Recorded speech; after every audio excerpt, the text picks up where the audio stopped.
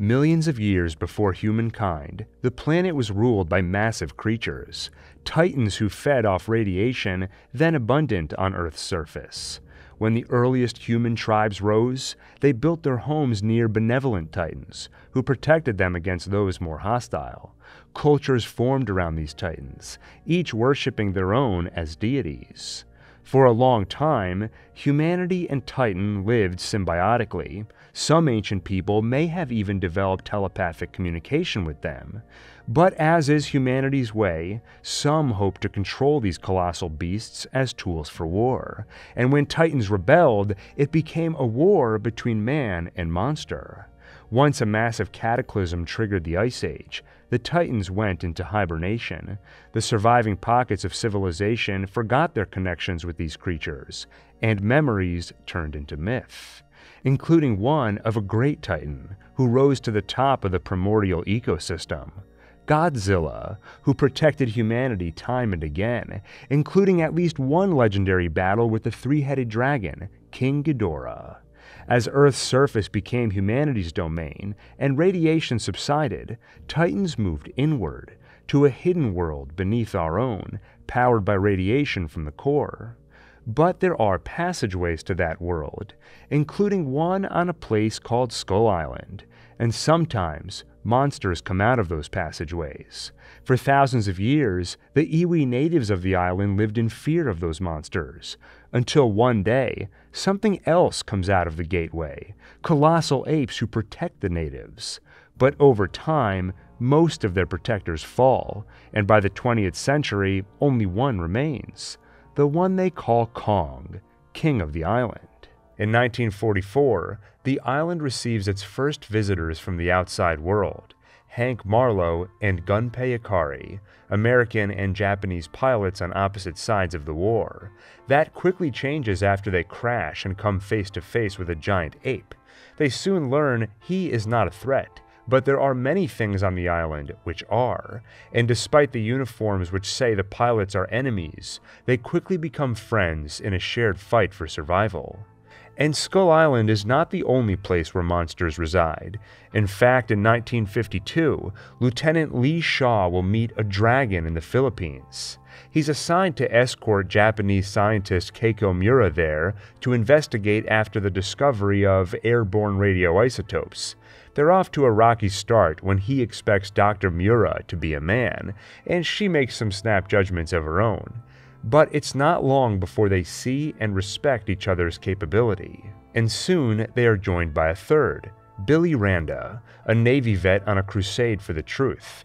Judging by Dr. Miura's equipment, he can tell they're both after the same truth to prove monsters real.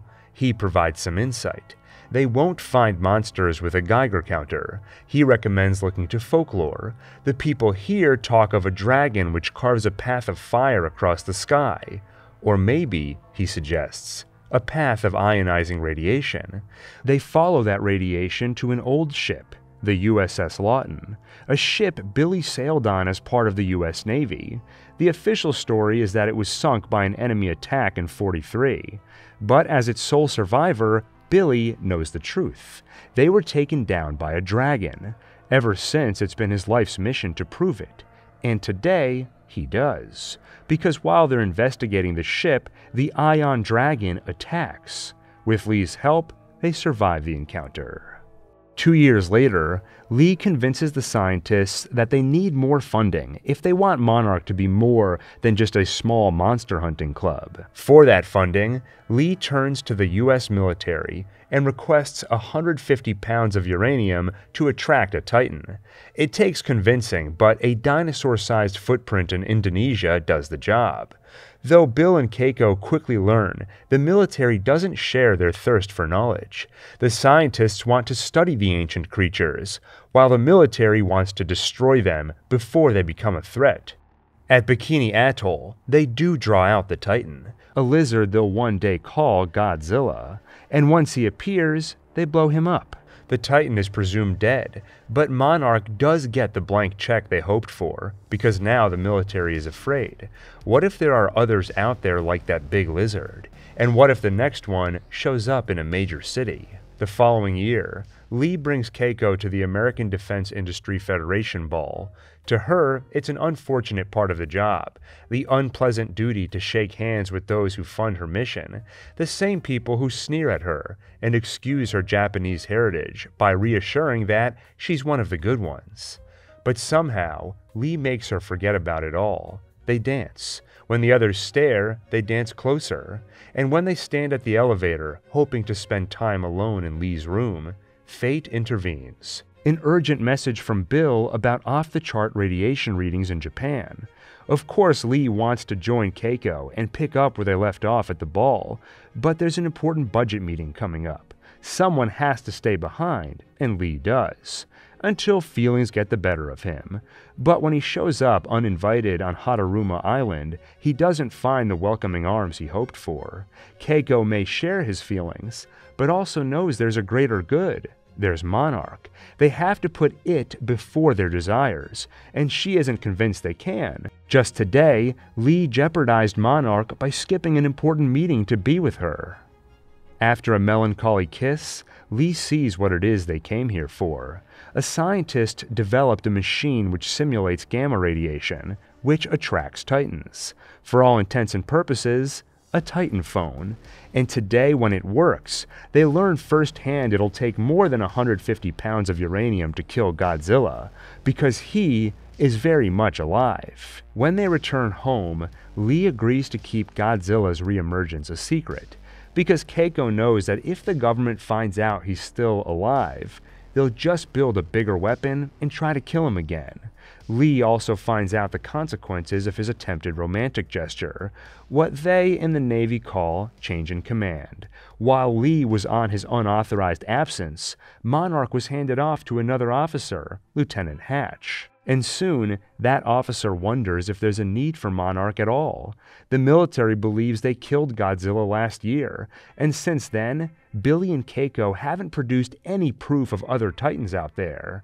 The officer wonders if maybe their money would be better spent on rooting out foreign spies, insinuating Dr. Miura might be one of them. At that, Billy defends his partner by taking a swing at Hatch, a partner he's falling for, and soon it's clear she is falling for him too.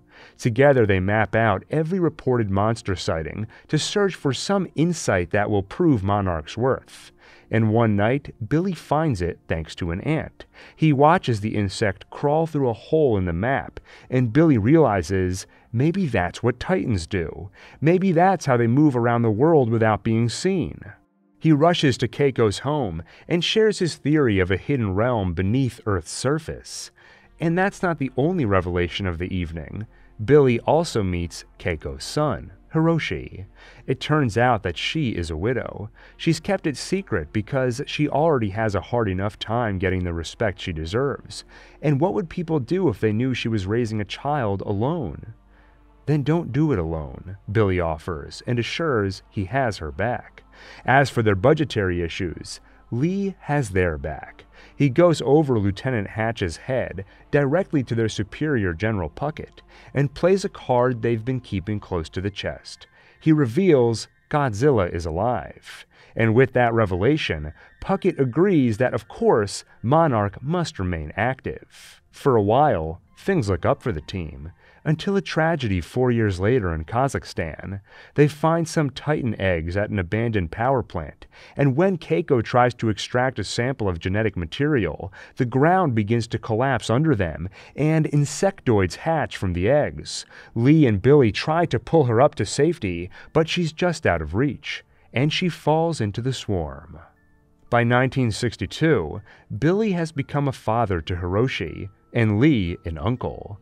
Then another tragedy strikes. Operation Hourglass. Lee is part of a small team under Billy, attempting the first ever voyage into his theorized Hollow Earth. Knowing the risk, he leaves a token behind for Hiroshi, his pocket knife, and the danger proves all too real. Only Titans can get through the vortex to underspace, so the plan is to use the gamma radiation simulator, or Titan phone, to draw one out, then follow it back in. At first, things go as planned. A Titan comes to the surface, and Lee's vessel follows it back down. Then, disaster. the passageway implodes, and they lose contact with the vessel. Lieutenant Puckett demands answers from Billy, but he comes up short. Lee is gone, and Billy Randa has no idea what went wrong. Then the hard part telling Hiroshi, who lost his mother to the job, that now he's lost an uncle too. And 11 years later, he loses a father, in the time since Kazakhstan and Operation Hourglass, Bill Randa has only become more obsessed with his crusade to find monsters, and in 1973, he makes his final attempt. He's helped by geologist Houston Brooks, who wrote a paper substantiating the hollow earth theory. Although one passage to it collapsed when Lee disappeared, Bill believes there's another in a place called Skull Island. He gets approval for the expedition and brings a team with him. Brooks, monarch biologist San Lin, a military escort led by Lieutenant Colonel Preston Packard, an ex British SAS captain with expertise in uncharted jungle terrain, James Conrad, and anti war photographer Mason Weaver. Getting to the island means penetrating the perpetual storm that surrounds and hides it. Once they're through, they drop seismic charges to test the density of the island, and Brooks is happy to report the bedrock is practically hollow, further evidence of Randa's theory. But what they don't know is that the island is protected by Kong, and he doesn't appreciate the fine distinction between seismic charges and bombs. As exploding things fall on his island, the giant ape attacks the helicopters, and in this beast, Bill and Packard both find what they're looking for. For Bill Randa, a monster, and for Packard, a war. With America, as he sees it, abandoning the Vietnam War, he is desperate for a new enemy, and the giant ape who killed half his men will do just fine. Kong's attack scatters the group, with Bill Packard and some of his men in one, Conrad Weaver and Brooks in another. Both quickly learn the ape isn't the only deadly thing on the island. There are also giant spiders, and Conrad's team learns natives though any risk of miscommunication is averted because among them is an American who can translate. World War II pilot Hank Marlow. Since his crash in 44, he's lived among the natives, learned their ways, language, and history. He tells Conrad's group all about it how the Iwi natives lived in fear until giant apes came to their aid, protecting them against what he calls skull crawlers, large reptilian creatures. And he tells them about the last ape standing, King Kong. Their bombs woke up a bunch of the lizards, which is why Kong was so angry. He can handle them as long as he gets to them while they're small, but there's a bigger one hiding beneath the surface who killed Kong's family. And the natives say if Kong were to fall, that big one would return. Then Conrad tells him about a refueling team coming to the north of the island in three days. If they make it there in time, they can all leave the island. They'll never make it on foot, Hank says. But he has another way a makeshift boat built from the scraps of his and Gunpei's planes. They'd started building it until Gunpei was killed by a skullcrawler. They get to work finishing the boat while the photographer Weaver has a look around. She finds a giant goat trapped under one of the downed copters and tries to help it. Kong notices her good deed and helps free the animal. When the boat is ready, Hank says farewell to the friends he made over the last three decades, and they take off. Elsewhere on the island, Bill gets the idea that Skull Island may be where the last man standing from the original monarch meets his end, so he records a message for the boy who became his son, Hiroshi, an apology for everything he took from him, and hope that he can at least leave some legacy behind, that Hiroshi will see it was all worth it. He's chased by a giant spider to the island's edge, and in desperation, tosses the bag containing his research into the water. Then another Titan takes on the spider in battle, earning Bill a brief stay of execution. Soon, Conrad and the others on Hank's boat reunite with Colonel Packard's group, and they are disappointed to learn Packard has no interest in heading north to the extraction point. Instead, he wants to head west to search out a missing man, Chapman, who is separated from them in Kong's initial attack. The others begrudgingly follow until they reach the boneyard, containing what's left of Kong's parents, a mass grave. Hank warns it's too dangerous to cross, but there's no convincing Packard. He goes, they follow, and sure enough, a skullcrawler emerges. That's how William Randa, sole survivor of the USS Lawton and last man standing of the original Monarch, meets his end. And it's how Conrad finds out they're on a wild goose chase, because the monster spits a skull from its mouth, along with the dog tag of the man it belonged to, Chapman. They survive thanks to Marlow and Conrad wielding Gunpei's sword, and Weaver's ingenuity, using a lighter to ignite a gas pocket. Then Conrad shows Packard the dog tag and tells him the man they're searching for is gone. Yet the colonel insists they continue, because this was never really about finding a missing man. This was about going back to collect the weapons they need to kill Kong, to avenge his fallen soldiers. Hank tells him that'll only make things worse. Kong is the only thing protecting the island. If he dies, the big skullcrawler, the one he's kept at bay, will emerge. Well, Packard insists, then we'll kill it too. When they see there's no convincing him, Conrad and the civilians leave him to go their separate ways. But when he and Weaver run into Kong himself, things change. The beast looks at Weaver, and perhaps because he saw the good she did earlier, trying to help that trapped goat, he approaches peacefully. The photographer even places a hand on him. It's then they both know they can't abandon him or the people of this island. Packard's napalm draws Kong's attention, and they follow behind. By the time they reach the makeshift war zone, Packard's managed to take the massive ape down by drawing him into the lake, then igniting napalm hidden within it. While Kong is out, the men get to work planting bombs on him, until Conrad, Weaver, and Hank arrive with their own weapons. There's no reasoning with Packard, but his men are another story and they are soon convinced that Packard's lost it. They leave him and join the others. Conrad beckons the colonel to follow, and time is of the essence because with Kong down, the big skullcrawler emerges. When Conrad sees it's pointless, he leaves. And once the colonel is alone, he moves to detonate the bombs, but he's crushed under Kong's fist before he gets the chance. The rest of them take off toward the boat, but soon the fight between Kong and the lizard is upon them. The ape holds his own, until he doesn't. It doesn't look good for him, until he gets some help. Hank's boat is apparently armed, and distracts the skullcrawler enough to give Kong a chance to get back up. And then, with some creative use of man's debris, he takes his enemy down with a sharp propeller on the end of a chain. In the end, the survivors make it to the rendezvous point, and leave the island as Kong watches. Back home, Hank finds a wife and son waiting for him. Conrad and Weaver, on the other hand, are taken to Monarch, where they meet with Houston Brooks and San Lin. In a small interrogation room, they're told that Kong is only one of many like him, beasts who once ruled this planet. And he shows them images of cave paintings depicting Godzilla and other titans like him. In 1982, something miraculous happens.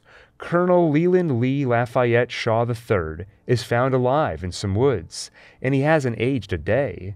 He himself only understands what happened when he sees a now grown Hiroshi with his pocket knife.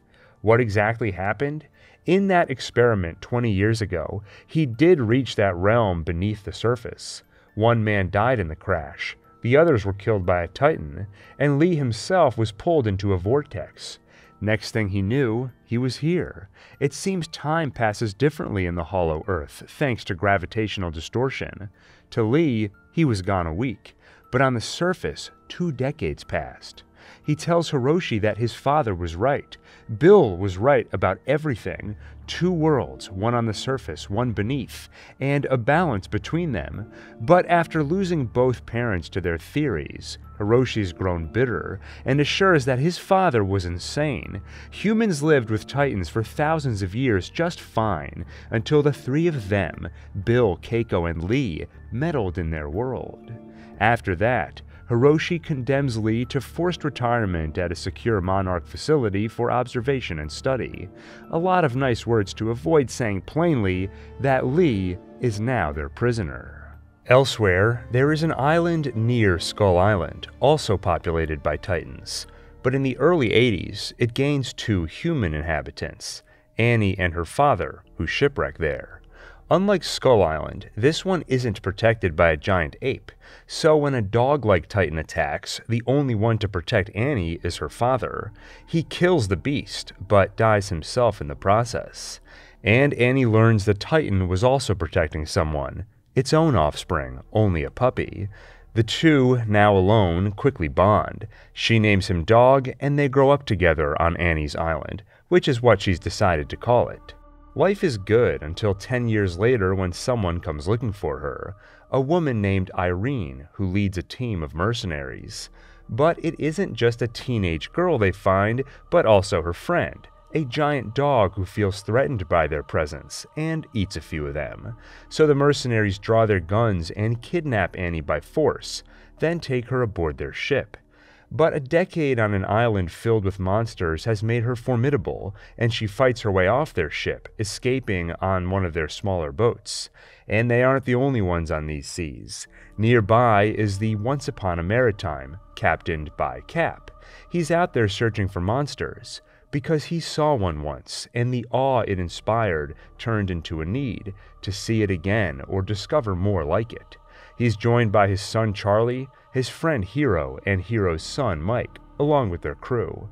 Charlie has grown tired of his father's adventures and wants to live a normal life, go to college, meet a girl, and all that stuff. Today, he gets to do one of those things because he finds a girl overboard, Annie. After her escape, a sea monster sank her boat. Charlie quickly rescues her, and once she wakes up, she's skeptical of this new crew, given how poorly the last one treated her. But Cap, Charlie, and the others make it clear they only want to help. And when that same squid like titan which sank her boat sinks their ship, she returns the favor, rescuing Cap from drowning. Meanwhile, Charlie and Mike wash ashore what they soon learn is Skull Island. Cap washes ashore elsewhere on the island, but Mike's father, Hero, and the rest of the crew aren't so lucky. They disappear with the ship. The boys struggle to survive on an island filled with monsters until Annie catches up with them, and this time she's with Dog, who managed to swim ashore. With the skills she's learned surviving on a similar island for years, she helps them fight monsters and find food. They even get to see the giant ape who protects the island in action when he saves their lives by eating a crocodile before it could eat them. Between it all, Annie and Charlie find a few minutes to bond.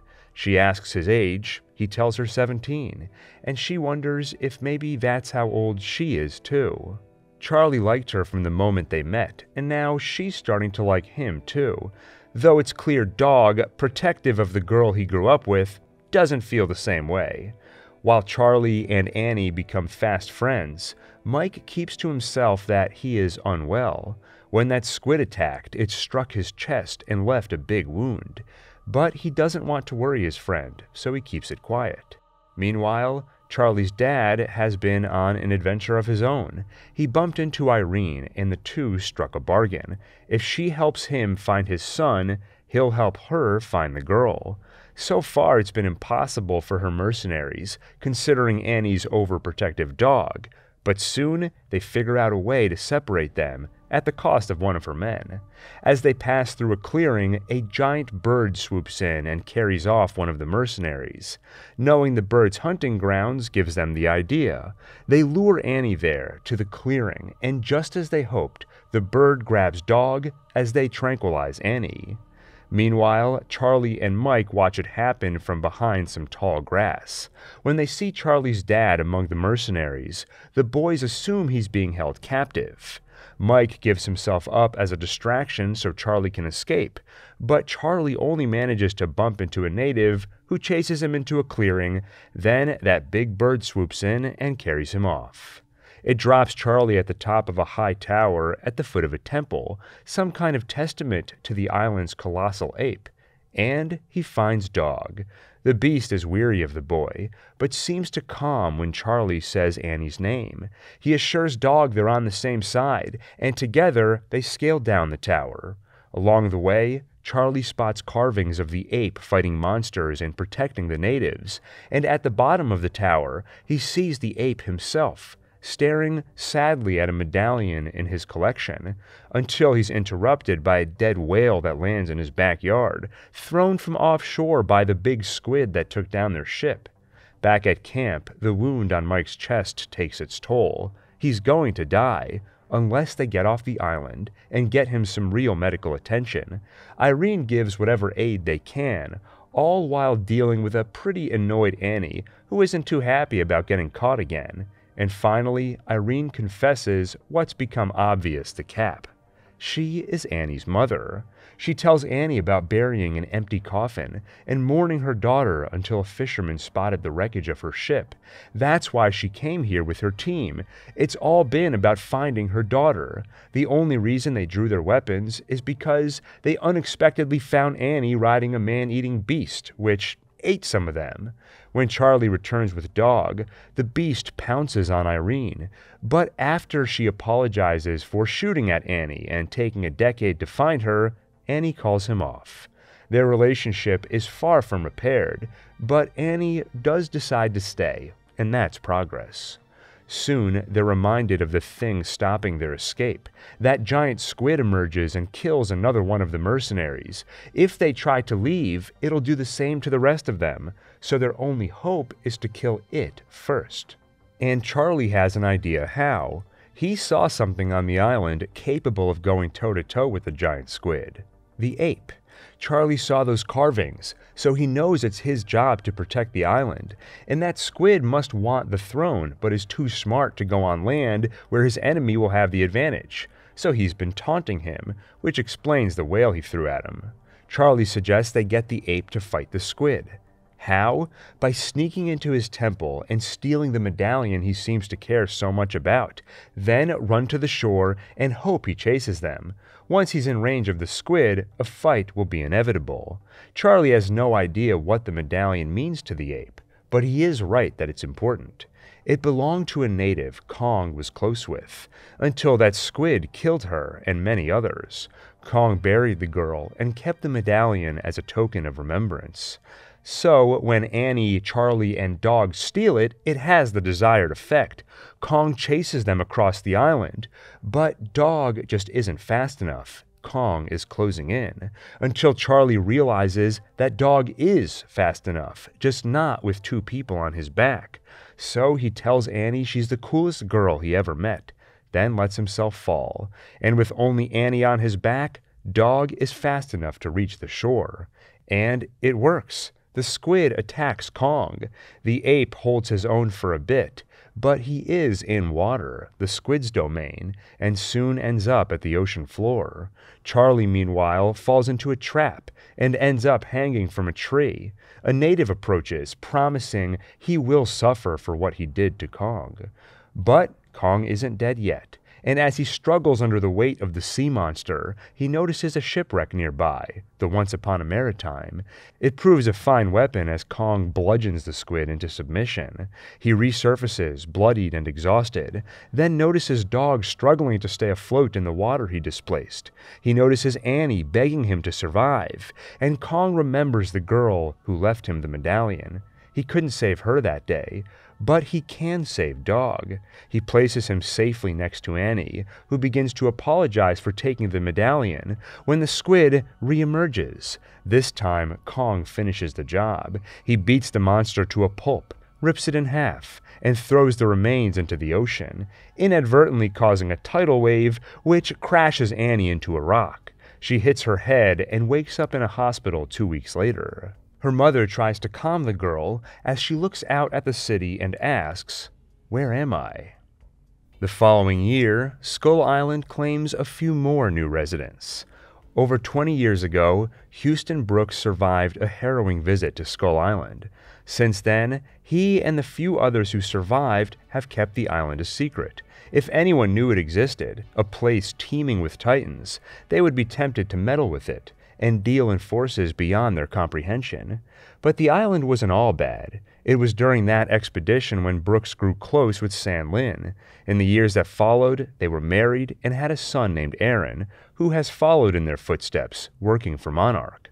One day, he breaks into his father's files and learns about Skull Island. He's horrified.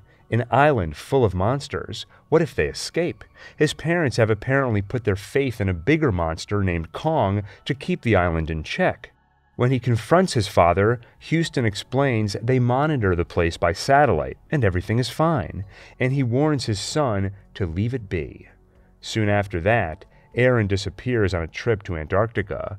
At least that's the official story. In truth, his son gathered a small team for an off the books mission and, using his father's notes, found Skull Island. And just like that voyage in 73, their craft is downed seconds after reaching it. Though in their case, it isn't Kong who takes them down, but a flock of psychovultures. The five of them eject, while their pilot Sajudo crashes in the distance. Helen Karsten is the first to die, killed by a pack of death jackals, as the rest of them find cover in a cave. That's where the Iwi natives find them and invite the survivors back to their village.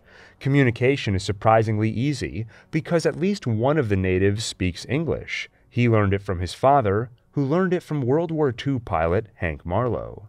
After meeting the natives, they're on the island for months long enough for the team's mythographer Riccio to learn the Iwi language and become enamored with their folklore. He also develops a strong taste for their medicine. It's not long before he's seeing things, visions of the island's past.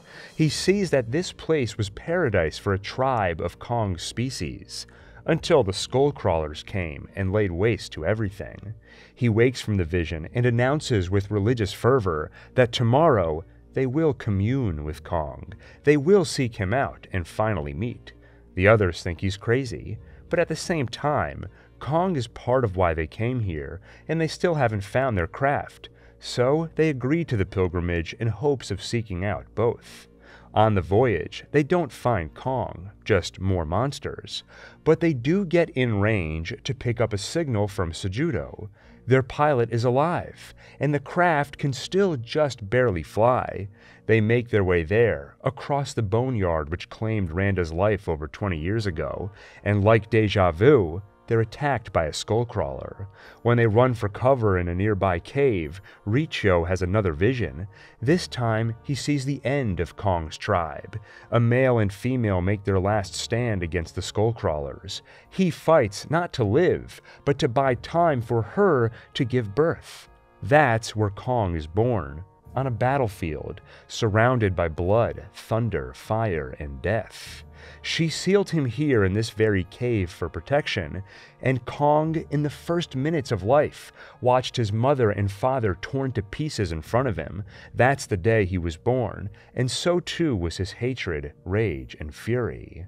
Once the coast is clear, they head outside and find Sajudo approaching in the craft, there to pick them up so they can finally leave this island.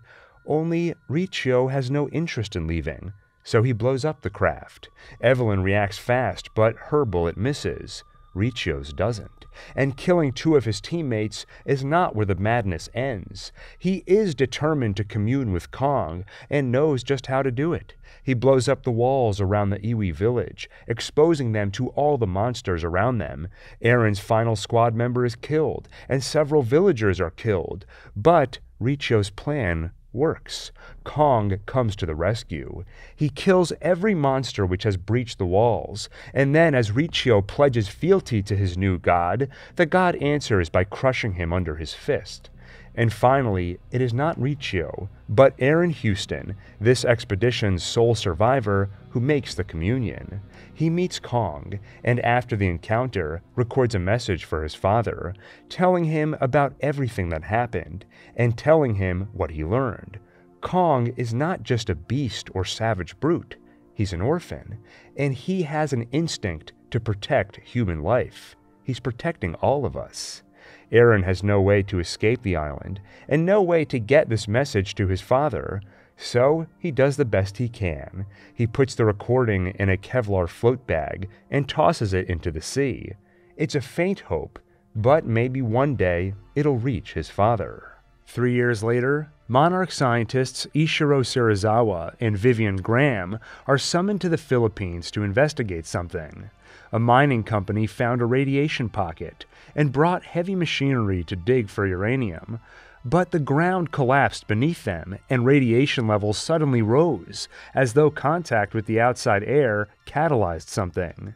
In the cavern, the scientists find the ancient skeleton of a long dead creature, similar to Godzilla, perhaps one of his ancestors killed by parasitic spores, and next to the bones, two of those spores, one dormant and one already hatched, part of the reaction from exposure to the surface. Whatever it hatched went looking for radiation and finds some at a nuclear power plant in Japan. Along the way, it causes strange tremors, which gets the attention of Supervisor Joe Brody. As the tremors approach, he warns they might have to shut down the reactor, but of course nobody wants to hear it. So he sends someone he trusts to investigate Sandra Brody, his wife, and within minutes he learns that he sent her to die, because once the tremors arrive, they cause a reactor breach, and if they don't seal the corridor, the whole city will be exposed. Joe begs her to get out of there before it's too late, but they both know the truth. It already is. He seals the corridor, trapping Sandra and the team in their makeshift tomb, and through a tiny window, she begs him to be a good father.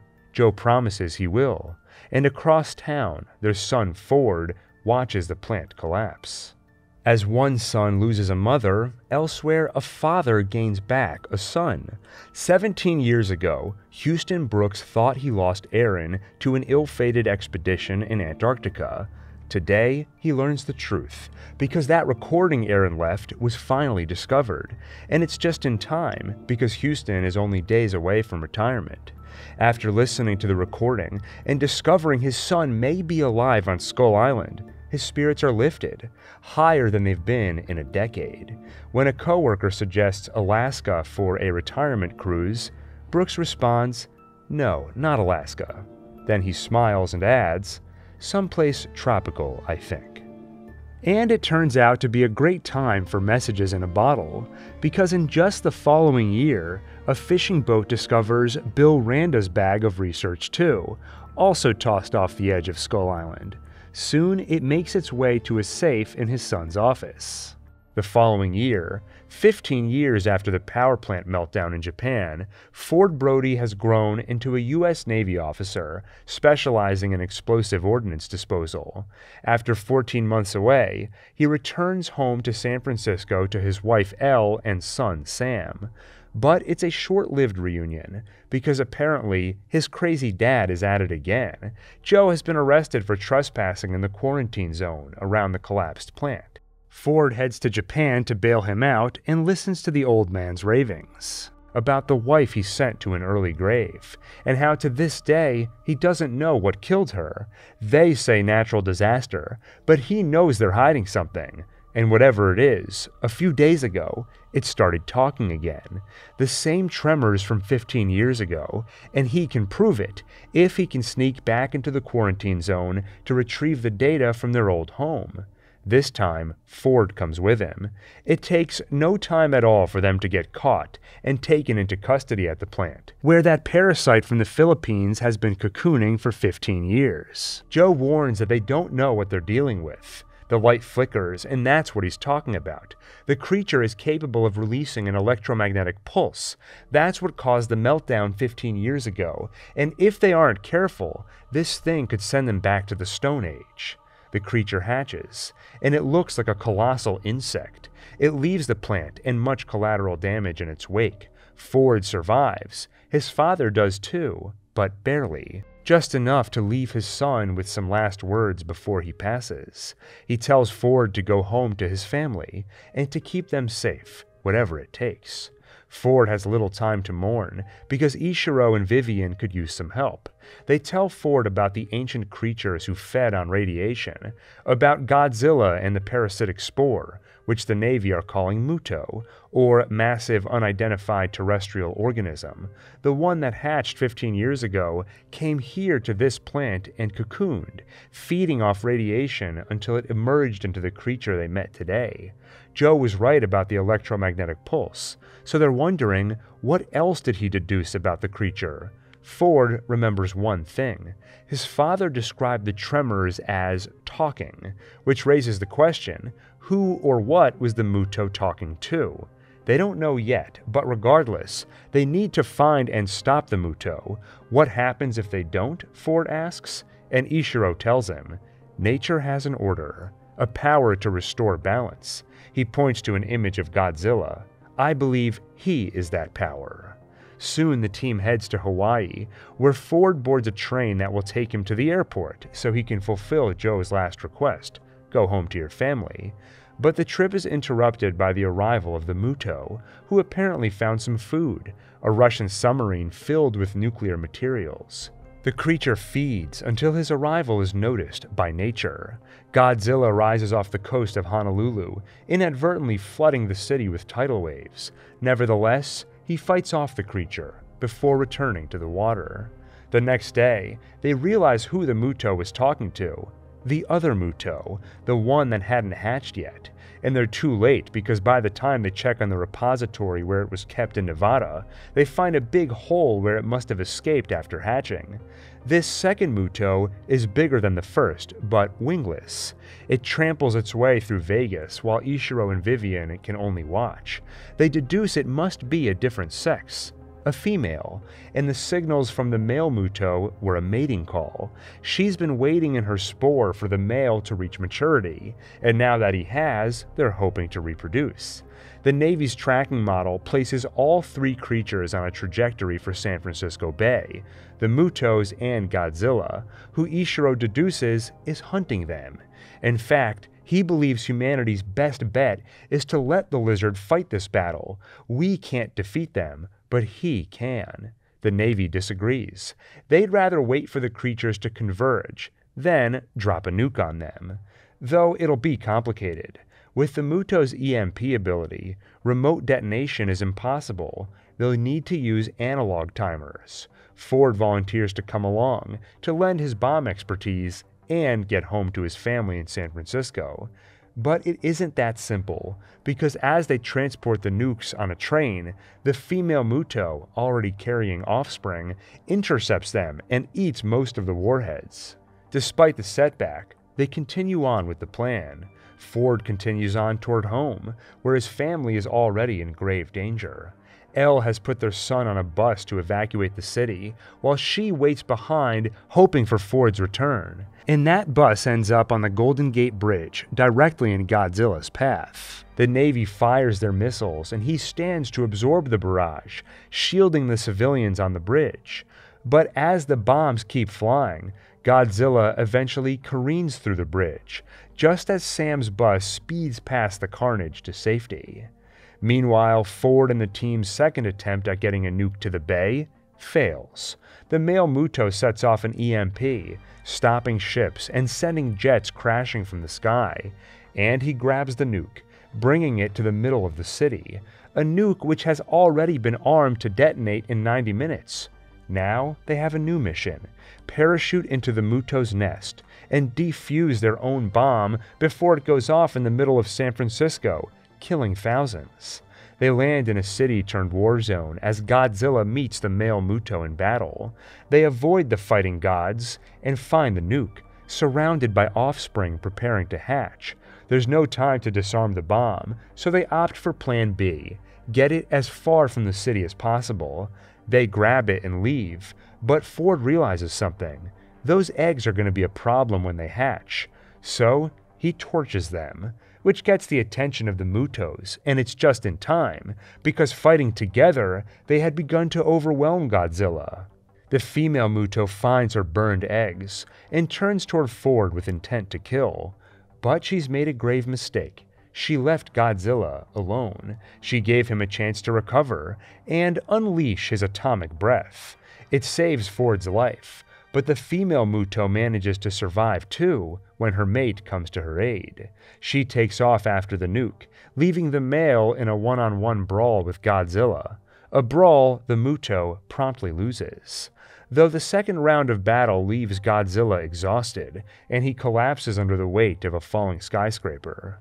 Ford rushes after the nuke, which the team has loaded onto a boat, just before most of them are killed by the female Muto. Now it's all up to Ford. He gets on the boat and pushes off from the dock. Then once again finds himself face to face with the Muto, and once again he's saved by Godzilla, who unleashes another round of atomic breath. Her body falls, and Godzilla drops her decapitated head alongside it as he roars victoriously before collapsing from exhaustion. Ford does the same, next to an armed nuclear warhead five minutes from detonation. He closes his eyes until a bright light shines above him, a rescue helicopter. It takes him to safety while the nuke detonates far from any civilians. When the sun rises, Ford reunites with his son and wife, and Godzilla wakes. He roars to the sky before returning to sea, crowned by the public as savior of their city and King of the Monsters. But G Day, as it becomes known to the public, does not end happily for everyone, including a teacher named Cate who lost a busload of students in the attack. And that's not where the heartbreak ends. Five days later, her father, Hiroshi Randa, son of Bill and Keiko Randa, tells her to take care of her mother. There's something he has to do. And he disappears. A week later, she and her mom get a call from the state police in Fairbanks, Alaska, saying the bush plane he was on disappeared in a storm. Others were touched by the tragedy of G Day too, including Monarch scientists Emma and Mark Russell, who lost their son Andrew to Godzilla. Grief drove Mark to drinking and put a rift between them, while Emma's grief created in her a resolve to change the world so Andrew's death would not be in vain. She gets a chance when Monarch drafts her to study the emergence of a new Titan, a few months after G Day. The new Titan first appeared in Japan. An earthquake struck, it emerged, then Godzilla sent it into retreat. The same thing happened again in Guam. As Emma investigates alongside Ishiro, Vivian, and a small team, it puts her on a collision course with former British Army colonel turned eco terrorist Alan Jonah. During the quake in Guam, he managed to escape custody but left his phone behind. On it, they find a photo of a borehole in Siberia, similar to ones left behind after the Titan's emergence in Japan and Guam. At the bottom of the cavern, they find ancient egg casings, resembling the ones which hatched the Mutos in the Philippines. And they run into Jonah. He's arrested, and when they ask why he's obsessed with monsters, what is he trying to prove? Jonah answers, The monster is man. And watching Dr. Emma Russell at work, he's impressed. He wishes her safe travels and adds, Be seeing you. Through a combination of scientific analysis and ancient folklore, Emma discovers the true nature of this mystery titan. In ancient times, it was called the dragon beetle, and if they aren't careful, it could lead to a new dark age, because the dragon beetle could be called by a more scientific name, Muto Prime, and she is part of a violent parasitic cycle which has killed many of Godzilla's species, including Dagon, whose bones were discovered years ago by Ishiro and Vivian in the Philippines. It works like this. Once a Muto lays their eggs, the Muto Prime injects them into a titan of Godzilla's species.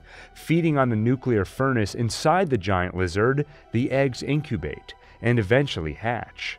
The Titan is left dead, and the Mutos, like an invasive species, eradicate surrounding ecosystems.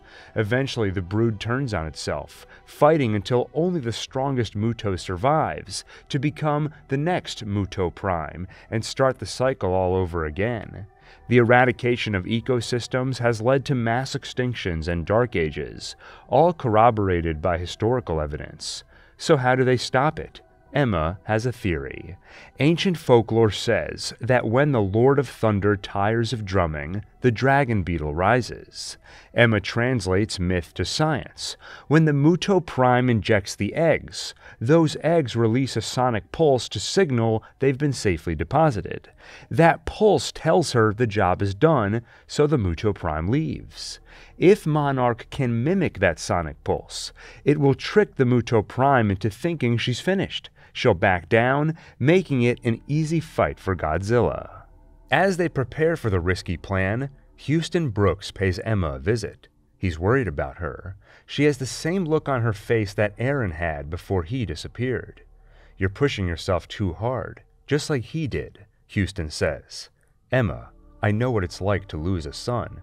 You've found yours, Houston, she replies, and she assures him nothing will happen to her. What about Maddie, her daughter? Houston asks, and Emma lashes back. Nothing's going to happen to her. All that's left is for him to quietly wish her good luck. But that luck doesn't get her very far, because the plan goes horribly wrong. The sonic pulses they make only turn the beast more aggressive, not less. Lives are lost, and the UN Security Council refuses to hear her out when she posits what went wrong. They didn't account for refraction. The pulses can't just be released into the air, they have to sound like they're coming from inside Godzilla. Unwilling to take further risks, the Security Council decides on the same plan Serizawa suggested in San Francisco. Let them fight. Though Serizawa and Emma both know Godzilla is getting weaker and will likely lose the next bout with Muto Prime. So they come up with a plan B, pinning their hopes on a prototype Emma built with her husband Mark back at MIT, a sonar device meant to communicate with animals.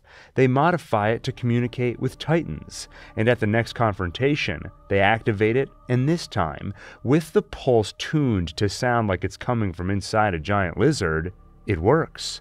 The Muto Prime backs down, and Godzilla wins the fight, saving himself and humanity in the process. The following year, Cate and her mom find something which makes them curious a set of keys and a lease for an apartment in Tokyo in Hiroshi's name. Cate flies over and at the apartment finds one of her father's secrets a second family, a mother and her son, Cate's half brother, Kentaro. This is not what she was expecting to find, and it only cements her view that her father Hiroshi was not a good man. After the tragedy of G Day, he abandoned Cate and her mother. Now she learns that this was only the cherry on top of an affair that apparently lasted decades, something neither family knew about. In fact, they don't even know who he married or cheated on first. Despite the revelation, Kentaro defends their father and the important work he did. He brings Cate to their father's office to prove it, but she finds something else another secret a safe containing the research of Bill Randa, Hiroshi's father, Kentaro and Cate's grandfather. On the bag, there is a symbol, one that Cate recognizes from the outfits worn by people who were there on G Day. It seems Monarch has something to do with Godzilla, and perhaps their father worked for them. The research is all stored on old tech they have no idea how to access. Fortunately, Kentaro knows someone who does. Unfortunately, it's his ex, May, who isn't too thrilled to see him. Nonetheless, they put their differences aside and she pulls the data for them. They find a satellite map, like one that was in Hiroshi's office, and a photo of their grandmother, Keiko Randa, standing in Godzilla's footprint. It could be the beginning of a globe-trotting adventure, but Cate isn't interested, so for her, the journey is over. She prepares to head home until she's intercepted by Tim and Michelle, agents of Monarch alerted by May cracking the encryption. She escapes their grasp, and by the time she gets to May's place, finds the agents are already there. So May and Cate sneak off together. At Kentaro's home, the boy finds a photo in his father's things of a man named Lee Shaw. His mother tells him that Hiroshi called him Uncle Lee. When the Monarch agents arrive demanding Kentaro hand over Bill's research, Kentaro's mother tells him to comply, then quietly hands him the photo of Lee, a silent message to go find him. Kentaro pretends he's going to grab the research, but instead escapes. He reconvenes with Cate and May. Then together they find an older Lee at a retirement home though the hidden cameras and ankle bracelet tell a different story. Lee is clearly a prisoner here. He tells them that he doesn't buy the story of their father disappearing without a trace. Hiroshi is out there somewhere alive, and if they help Lee escape this place, he can help find him. He cuts the ankle bracelet, giving them 60 seconds to decide before they're swarmed by guards. They opt for escape and begin their search in Alaska, where Hiroshi's plane went missing. And they get there with help from an old friend of Lee's in South Korea, Duho. He lends them a plane and flies with them to Alaska, where they find the wreckage of Hiroshi's plane. Inside is a body, but not his. He could still be alive. And on closer inspection, Duho realizes something else. Hiroshi's plane didn't crash. Something must have destroyed it after they landed. It's then that the Titan responsible shows itself. Duho runs back to their own plane, but the Titan releases a cold breath, freezing him and the plane solid. The others run for cover, and when May's foot lands in a cold puddle, the group is left with a new ticking clock. Find help before hypothermia kills her. But out here, where can they find help? Kentaro spotted a man made structure when they flew in. They should head there, he insists. Unfortunately, no one else saw it. And are they willing to bet their lives that he saw what he thinks he saw? When they spot a bright light in the distance, they place their bets there instead. Kentaro, on the other hand, stands by what he saw, and rather than waste time fighting, they go their separate ways. At night, the cold is worse, so Lee lights a fire, which attracts the attention of that Titan, and this time Lee gets an idea what it's after when it takes out their flame.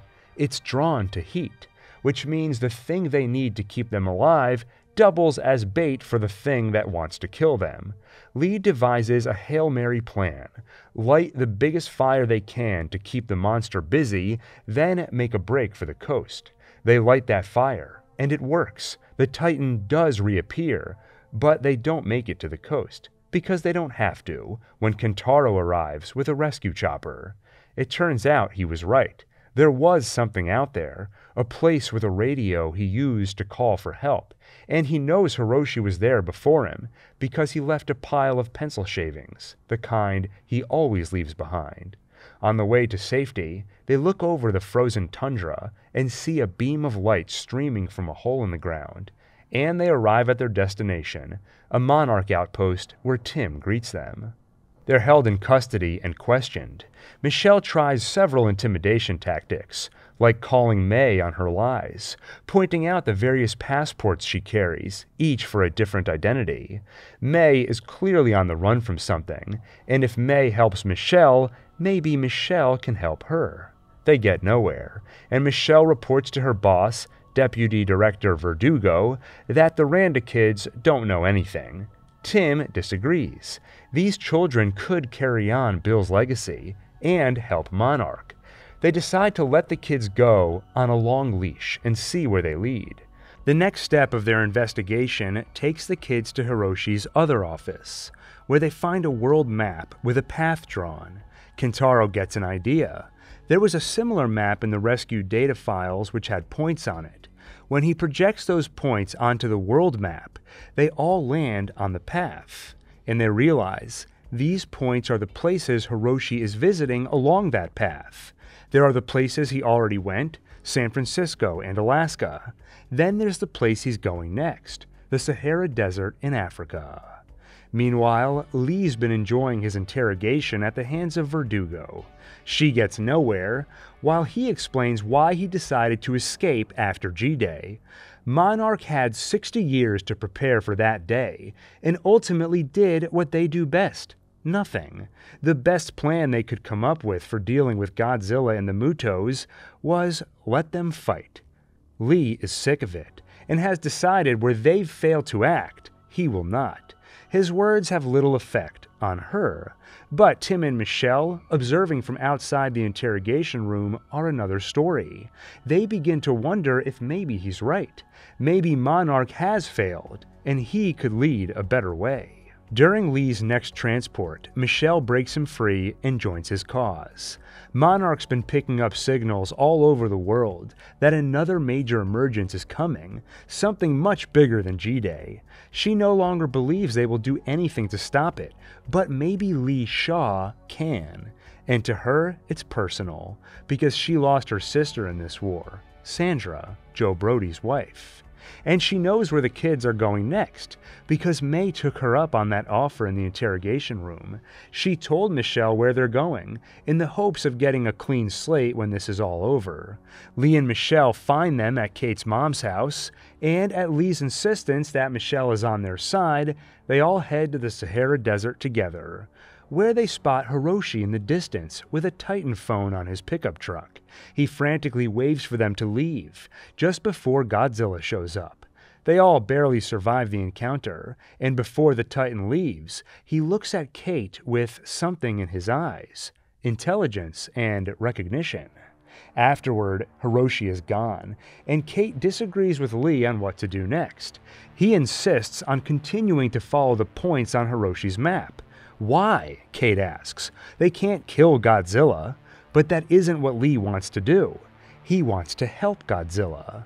They can come with him and he'll explain everything, or they can go their separate ways. Kate opts for the latter.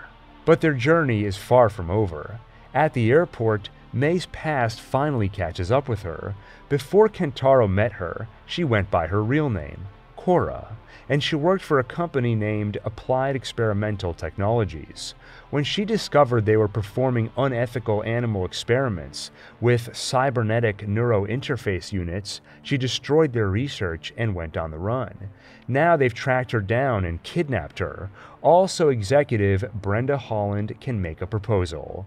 They could involve the cops and have her arrested for what she did, or she can become their spy, continuing to work with Monarch while feeding info back to AET, because AET could learn some incredible things from Titans, much more than from ordinary animals. Meanwhile, when Kentaro and Kate search for their missing friend and bump into Tim, who apparently also survived the encounter with Godzilla, he wants their help finding Lee, but they refuse unless he helps them find May.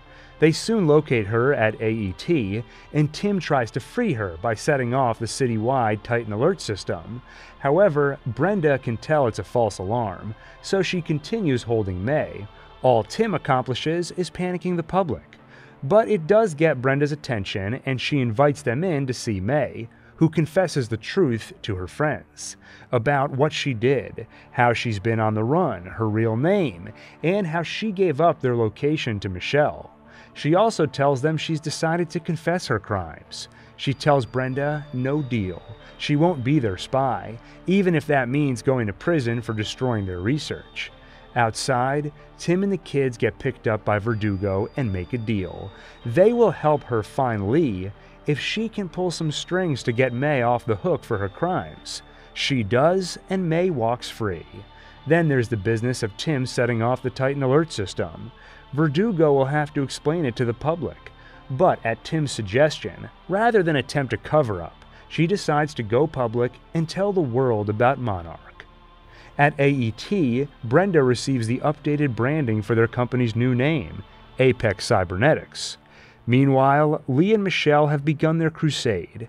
It turns out the points on Hiroshi's map represent passageways to the Hollow Earth. In Alaska, that beam of light was from one of those passageways, and that's where Lee and Michelle begin their mission by blowing it up. At Monarch, they see the gamma rays in Alaska fell to zero, but spiked everywhere else. They have to stop Lee and Michelle from blowing up another one. If the radiation levels get pushed over the top, they could end with another G Day. Kate, May, and Kentaro work with Tim to try and find him. They work out of an old Monarch office, the place where years ago Bill came up with the theory of a hollow Earth and Kate finds a report on Keiko Randa's death. It happened in Kazakhstan, one of the places on Hiroshi's map. Kate figures that's where Lee is heading. His crusade is partly sentimental, so he'll likely want to go where he made his greatest mistake, a place where maybe he can find redemption. They do find him there, well armed and in control. He agrees to speak only to Kate, and he tells her why he's doing all this. She saw the look in Godzilla's eyes. The Titan is a thinking being who knows what he's doing. He knows there are two worlds, one for humankind and the other for Titans. Godzilla is just trying to keep them separate and safe. Lee intends to help by sealing every passageway between them. But Kate asks, what if he's making things worse? After all, Monarch's data suggests that's exactly what he's doing. Every time he closes a passageway, it spikes the gamma radiation everywhere else. But Lee won't hear it. Monarch always cherry picks data, and this isn't about data, it's about belief and atonement. He sets the bombs to detonate in two minutes. Most of them get out, but May falls into the portal. Kate almost gets dragged in too until Lee grabs her hand and falls into it with her before the building collapses. Kentaro wakes up in a hospital to find out his friends are gone, but he refuses to accept it and heads to his father's office in search of clues. That's where their reunion finally happens. Hiroshi shows up, wanting to speak with his son and daughter, but Kentaro tells him that he's too late.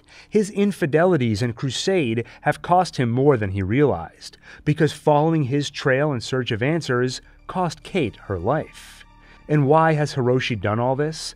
He's come a long way from 1982 when he told Lee that Bill Randa was crazy. After G Day, Hiroshi became obsessed with proving his parents were right, that they did not die in vain, that there are in fact passageways leading to another realm where Titans come from. And though they don't know it yet, that's where Kate, Lee, and May are now, trapped in the same place Lee visited years earlier. Axis Mundi, a place between heaven and earth, an interconnected realm between the worlds of humans and titans, a place where time moves differently. A few days trapped could mean missing decades in the world above. Lee and May find each other and search for Kate, who is alone until she finds another survivor, her grandmother, Keiko Randa, apparently alive all this time. They soon find May and Lee, but he doesn't let Keiko see him yet, because he knows the moment she does, she'll know that while to her it's only been 57 days, in truth, she's lost 56 years of her life. He'll have to tell her that Bill is gone, driven to obsession after thinking he'd lost her. He'll have to tell her that her son grew up without a mother. And soon, he does tell her all of these things, and both their hearts break. But Kate at least assures her that her son Hiroshi is okay. She knows this because Hiroshi is her father, and she is Keiko's granddaughter. After the tearful reunion, Keiko takes them to the gamma radiation simulator at her campsite, which she's reconfigured to send out an SOS signal, something Monarch picked up, but against Tim's insistence, Verdugo has chosen to ignore it. The possibility of a survivor in the hollow Earth is low on the priority list in the face of gamma spikes around the world, telling of a potential emergence. Monarch will not help them, so Tim quits Monarch and instead turns to Kentaro and Hiroshi. But in that other realm, they know the longer they wait, the more time they lose so Lee suggests they find their own way out. He asks Keiko to revert the machine back to its original configuration, to call for a Titan, and they find his old pod, the one that crashed in 1962. The plan? Leave this place the same way Lee came into it, by following a Titan. They connect the machines, make the call, and an ion dragon answers it. But at the last moment, a wire comes loose. Of course, Lee doesn't hesitate. He does his job, protecting the ones he loves. Outside the vessel, he moves fast, but the dragon is faster. They aren't going to make it. Until rescue, not from people or monarch, but from the king of the monsters himself, Godzilla.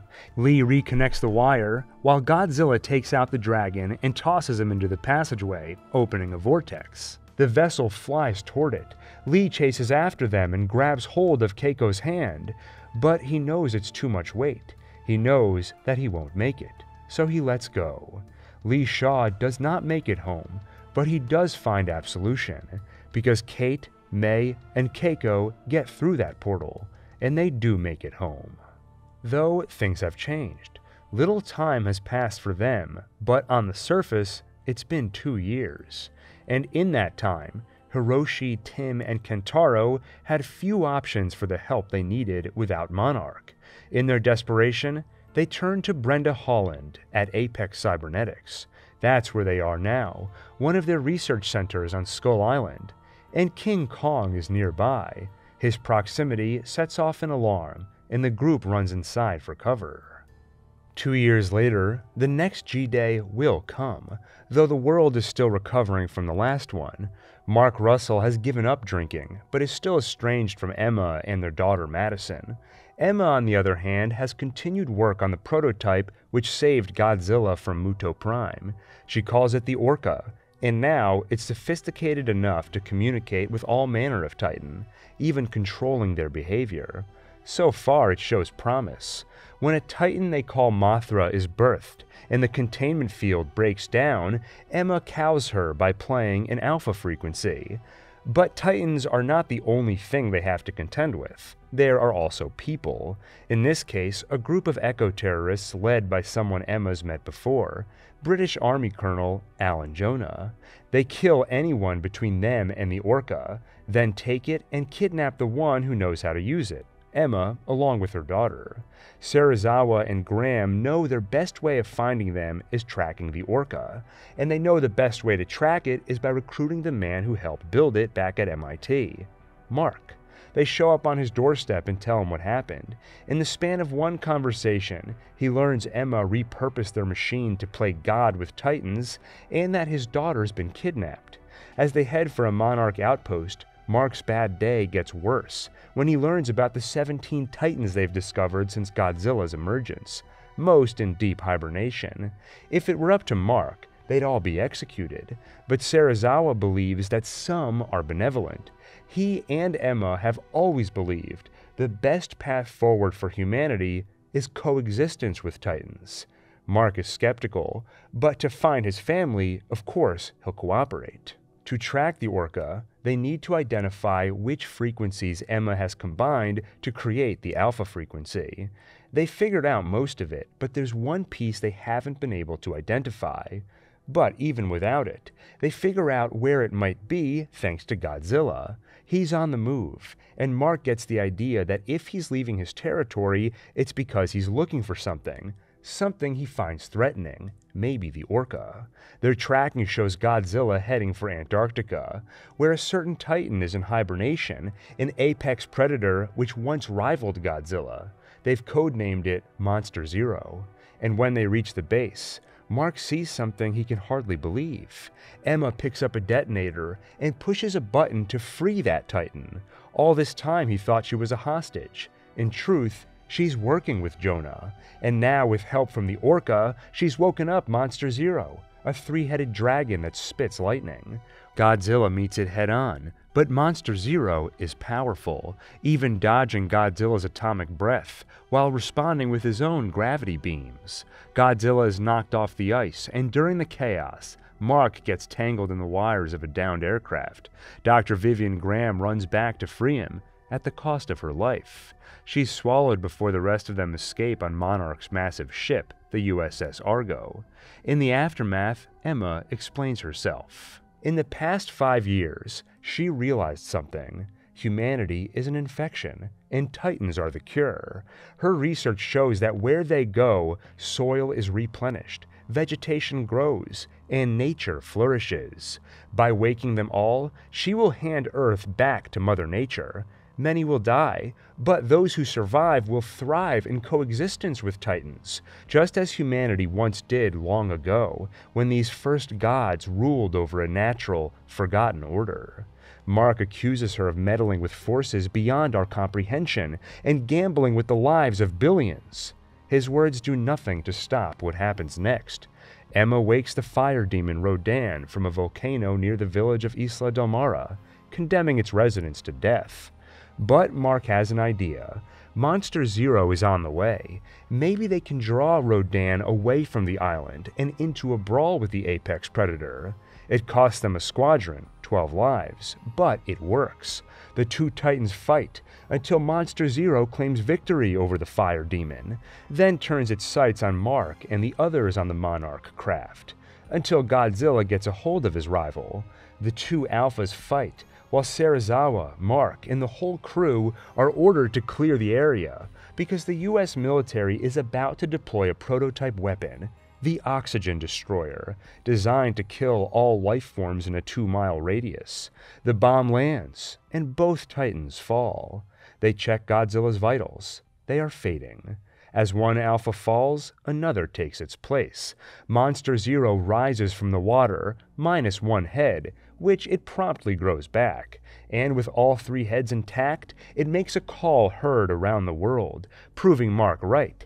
Emma is dealing in forces beyond her control. She hoped to wake the Titans methodically, one at a time, but Monster Zero has decided to wake them all at once. What follows is the greatest disaster in human history. Monsters attack around the world in what many are calling the rise of the Titans. Meanwhile, Serizawa and the team recuperate after their run in with the three headed dragon. They wonder how the monster was able to survive without oxygen. It defies the natural order. And that's it. Monster Zero is not part of Earth's natural order. Ancient folklore tells of a dragon who fell from the stars. Today, we would call it an alien creature. Back then, they called it Ghidorah. But as the world falls into chaos, there is hope. A bright light pierces the dark clouds around them, the light of Mothra, queen of the monsters. She had escaped during Jonah's attack earlier and settled under a waterfall in China to cocoon.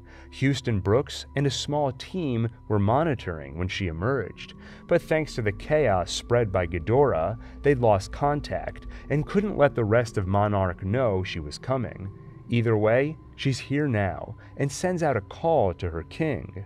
And Godzilla replies. He is alive, but just barely. Maybe they can help, Mark suggests. Maybe they can find him and set off some nukes. The radiation should restore his power. And like that, Mark finds himself fighting for the life of the thing which took his son. First, they have to find Godzilla. Following Mothra's signal leads to an underwater vortex which pulls them in, and it takes them to a place most consider theoretical. Bill Randa believed in it, Houston Brooks substantiated it, Lee Shaw, Keiko Randa, and a few others have even visited its outskirts, Axis Mundi, But now, for the first time, they go there the Hollow Earth. Inside, they find an ancient sunken city, a place filled with statues and temples from a time when humans and titans lived symbiotically.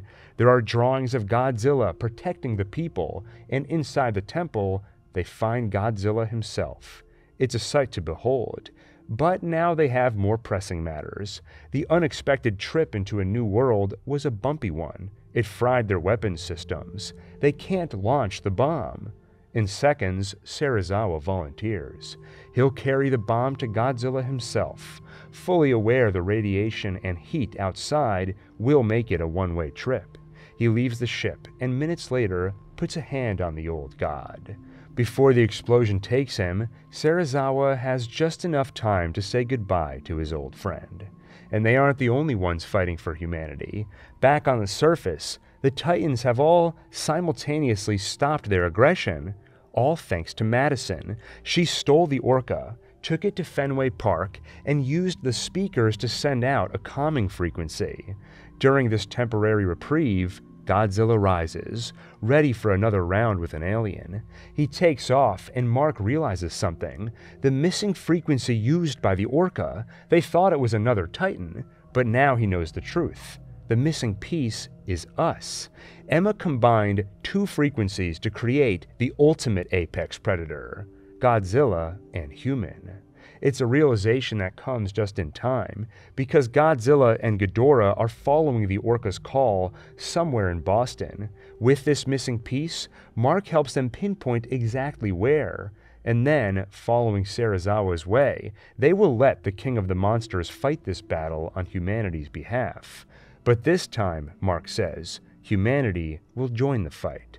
Godzilla and Ghidorah battle, while people lend a hand with all the firepower they have. On the ground, Emma finally breaks from Jonah and his group. She was okay with tamping down humanity to save the natural order, but as things are going, it'll be an all out extinction, acceptable to Jonah, but not to her. She leaves the ex colonel and joins Mark in searching for their daughter. They find her just as the battle takes a grim turn. Ghidorah flies Godzilla above the clouds and drops him. The king hits the ground hard. It seems Godzilla has lost this fight, except he has some help his queen, Mothra, though she is badly wounded after a bout with Rodan, and with her remaining life, she flies above her fallen king and takes a burst of lightning from all three of Ghidorah's mouths. The queen of the monsters dies, but allows her life energy to flow into her king. It's a day for sacrifices. Vivian Graham, Ishiro Serizawa, Mothra, and now it's Emma's turn. Mark and Madison escape with the rest of Monarch's people, while she stays behind to draw Ghidorah away from Godzilla using the Orca's call. Of course, it costs Emma her life, but it gives Godzilla the moment he needs to recover. And he does. Once his radiation reaches critical mass, he treats Ghidorah to a couple rounds of thermonuclear detonation. When the explosions clear and a dragon head hangs from his mouth, Godzilla disintegrates it in a final release of atomic breath. Finally, Godzilla stands victorious as the other Titans arrive and bow before their king. But while Emma may be gone, Jonah lives and still hopes to restore the natural order, a feat he may be able to achieve with help from something they found in Mexico, something Ghidorah left behind when the military launched that oxygen destroyer a severed head. Meanwhile, Godzilla gets back to work, patrolling his territory. First, he finds Scylla causing trouble. She's grown hungry and found something to quell her appetite. Godzilla doesn't know the word bomb, but he recognizes it as one of their things. Godzilla knows if she feeds on it, light and heat will follow. Land and ocean will suffer. She ignores Godzilla's warning pulse, so they fight until she retreats. Soon, another job. Two titans in a fight over territory, a side effect of Ghidorah waking too many at once. Godzilla breaks up the fight and when he grows tired, he seeks a place to rest. The lair he once used, the place they built for him, is gone. It's a place where they once lived with him. More recently, it's where they died for him. Godzilla may not be able to name him in his mind, but he remembers Serizawa, whose explosion destroyed Godzilla's lair, but also gave him the energy to fight Ghidorah. This is only one of many changes he has witnessed in his lifetime, and he remembers them all. But now is not the time to reminisce. He needs to find a new home, a place to bathe in the planet's warmth. So he closes his eyes, and along his spine feels the wind that blows from the heart of the planet. There are some places where the winds collect and fold, like one place long ago Godzilla might call home, were he not driven out by his rival. His energy wanes, but there is still more work to be done. He follows the smell of metal beasts and the excrement of oil, and he finds Na Kika. She came to these waters seeking solace, but ended up in a net cast by them. He frees her from it and slays those who broke the natural order, those who came here not to feed or claim territory, but like the three headed one, to destroy for the sake of destruction he continues on toward his new home, which he's decided will be his old home, and he does sense the presence of his rival. But something isn't right. When Godzilla signals his intent, there is no reply, except an attack from another Titan, Tiamat. Of course, the fight ends with her slithering away in defeat. When Godzilla finds his place to rest, he sees just what has changed in this old home in the hollow earth. His rival is here, but all that's left of him is a skull. From this place, Godzilla feels the other titans around the world who have pledged fealty to him, and as he lays to rest, he calls the others to do the same. Though if he knew the truth, his slumber might not be so peaceful, because there is at least one survivor of his rival species still out there, alive and well. He lives on a place called Skull Island, and his name is Kong. Soon, Monarch names a new head of intrastellar exploration, Corporal David Lind, and he is intent on humanity taking its next leap forward by exploring the Hollow Earth. He sends Chief Officer Dr. Houston Brooks to Skull Island, where he'll oversee a team of pilots on a mission to enter the vortex and explore the place where Titans came from, deeper than Axis Mundi or the temple where Serizawa sacrificed his life. But it won't be easy. They'll have to cross something called the GIB, gravitational inversion boundary, an electrostatic membrane separating the two realities. On top of that, there's a superstorm brewing in the Pacific. It began right after Ghidorah fled Mexico. The storm has been raging in the same spot for nearly two years, but suddenly last week, it shifted course directly for Skull Island. And that's right after the island had its first earthquakes in years, which are now becoming more frequent. Brooks wonders if they're connected. As is often the case, there are clues to be found in local folklore. An Iwi legend inscribed in hieroglyphs near the vortex says something about a darkness that will swallow the world, and a king of the deep who will rise. Exploring the island, Brooks sees Kong for the first time in nearly 50 years. The ape was only an adolescent back then. Now he's tripled in size and become the strongest creature on the island, the only one who'd be capable of surviving the coming storm. A storm which puts pressure on Brooks and the team to begin drilling and open a hole to the vortex. If they wait much longer, the storm will overtake the island and they'll be forced to evacuate. So they drill. They open a gateway to the vortex, and something screams from inside it. Too late, Brooks realizes their fatal error. He realizes what the Iwi legend was trying to say. The king of the deep, Camazotz, cannot stand sunlight, so in order to emerge, he needs to block the sun. He'll use the storm to do it, then emerge from the vortex to claim his new kingdom.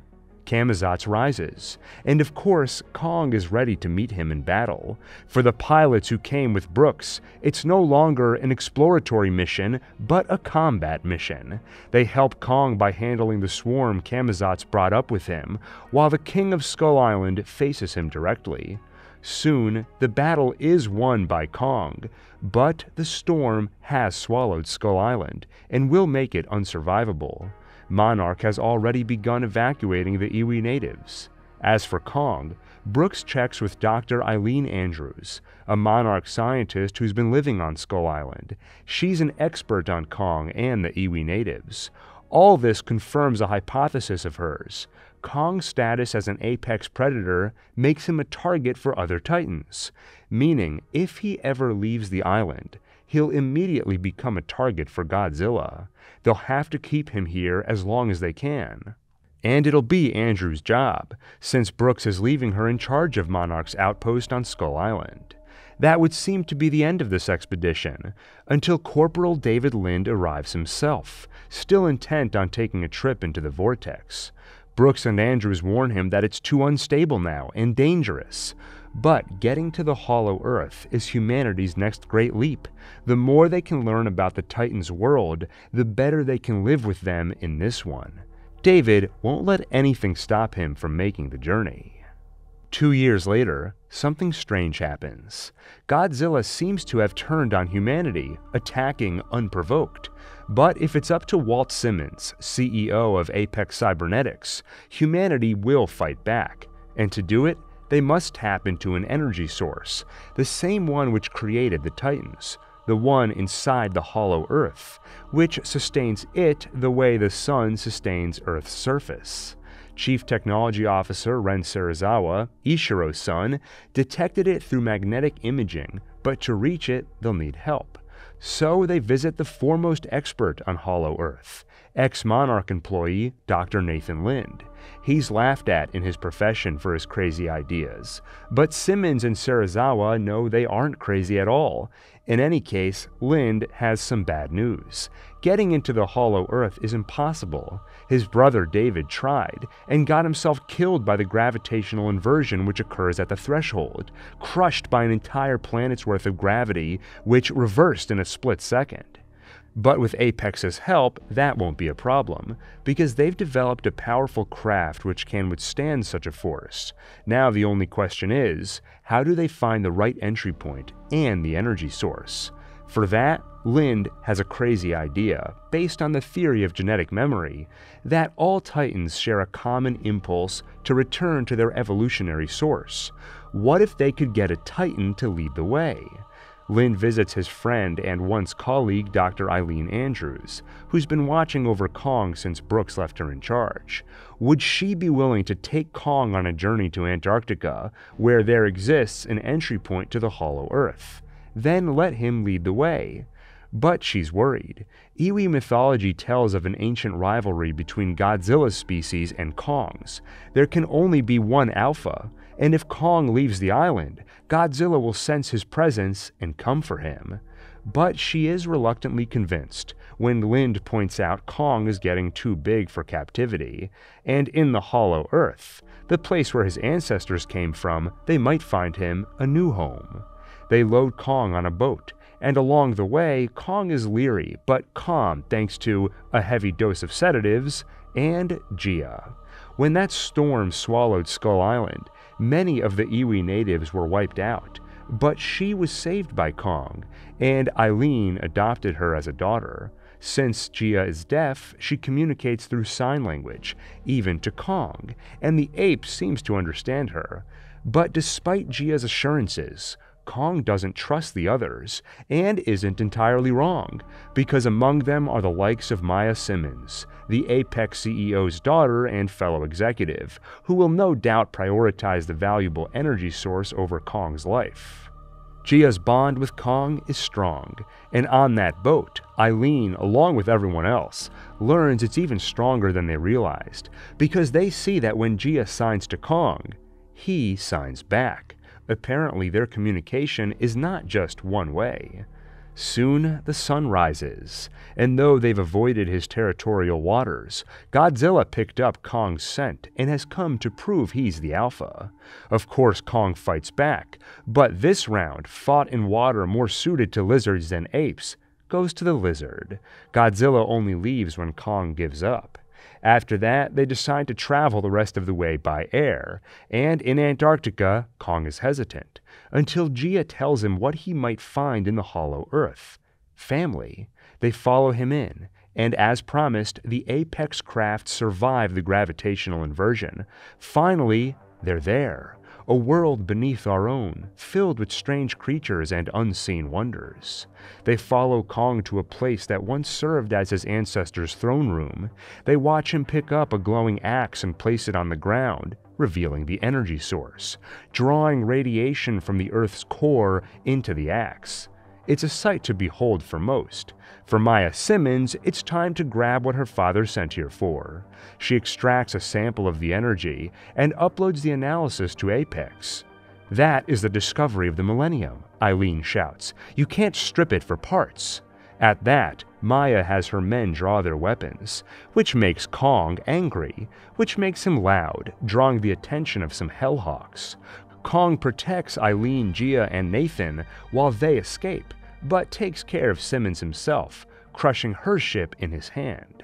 And during all that, another threat revealed itself as a blast of atomic breath put a hole in Kong's throne room. Apparently, their travels in the Hollow Earth have taken them beneath Hong Kong, which happens to be where Godzilla finds himself at the moment. Why is he there? The same reason he's been surfacing lately to attack, seemingly unprovoked a mystery Madison Russell has been unraveling with help from her friend Jonah and podcaster conspiracy theorist Bernie Hayes. They decided to investigate Godzilla's behavior because they knew the truth. He doesn't attack unprovoked. and all his attacks have been at Apex facilities. It's likely they are the ones who have been provoking him. Hayes had been investigating them himself from the inside as an Apex employee, so he was able to get Jonah and Madison into one of the facilities destroyed by Godzilla.